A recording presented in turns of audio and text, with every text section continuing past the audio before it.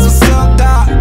Broke the cycle, I'ma keep it G. Fuck trying to buy a team, we gon' start our own league. Real wealth is more than just having money. See people so poor and all they got is money. But me, I got my wealth and I got my health. I was rich before I ever had money. Half a billion a year to the whole